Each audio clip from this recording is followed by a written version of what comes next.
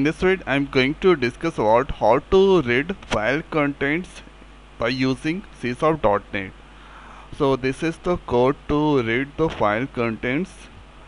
So at here the first uh, we need to include the system.io namespace because a stream reader class so this stream reader is the class the all definition written inside io namespace and hereafter I used to try and catch. So if that find any kind of exception in the program then that handled by the catch. So suppose if user enter wrong path then that comes to catch.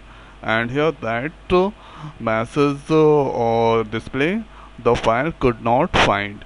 And here console.writeline and e exception message now hereafter so if you take the cursor on a stream reader so with the help of a stream reader class we can read the characters from the file. So here you get this definition implement text reader that read character from the byte stream in a particular encoding.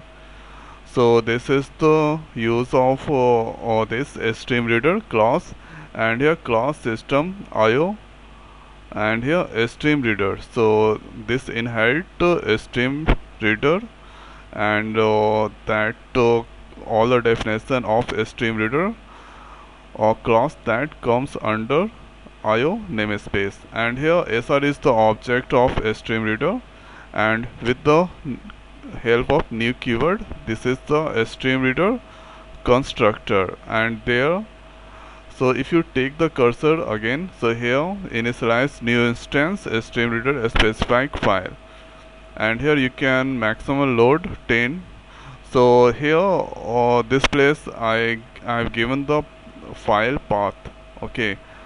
So here at this place see user Adam desktop ruby file and json.txt so this uh, file that I'm going to uh, read inside uh, or console of uh, C sharp so here let's uh, see this file first.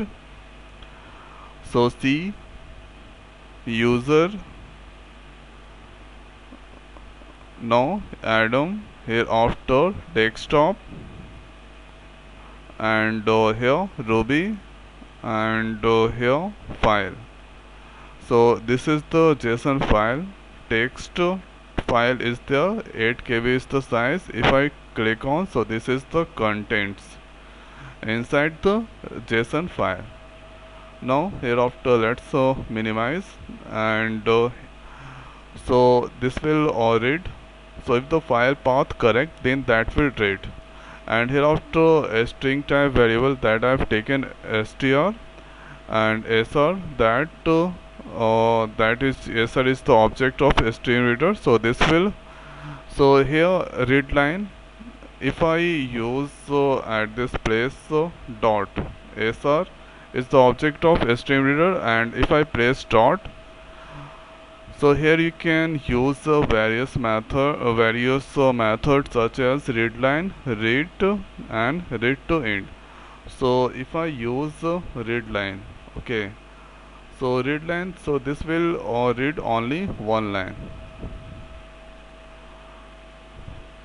And hereafter console.write so whatever that read that go to str and that print uh, on the browser str value. So let's execute and check the output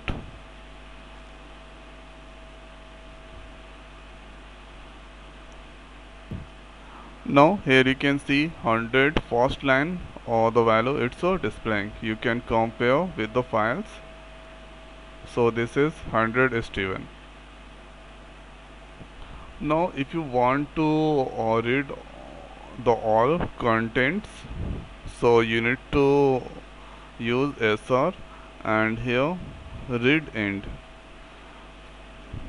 and uh, if you take the cursor on read end method the rest read all the character from current position to the end of the stream. So it will read the current position to end of the stream.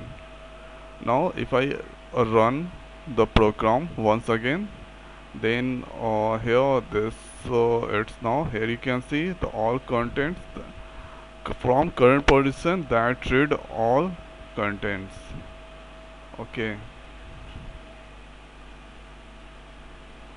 and if a user given or wrong path or wrong or the file doesn't exit so json1 is not inside there then that comes to catch and here the file could not find that message must be display.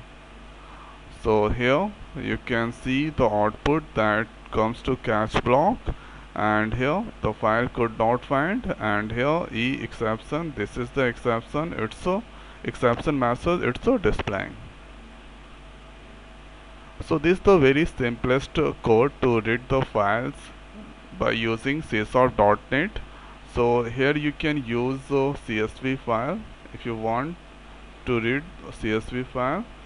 So let's uh, check uh, which is the csv if I go ABC and uh, details so ABC is the CSV file so I want to read uh, CSV so let's uh, give ABC and extension CSV now if you execute then that will read the, the all contents inside CSV file. So this is the content inside CSV file. It's uh, reading.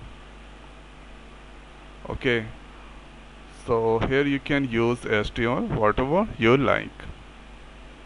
So this is the simplest uh, program to read uh, the contents by using csharp.net so i hope guys this video is helpful for you. So now in this video it's over. So thanks for watching. See you next video. Thank you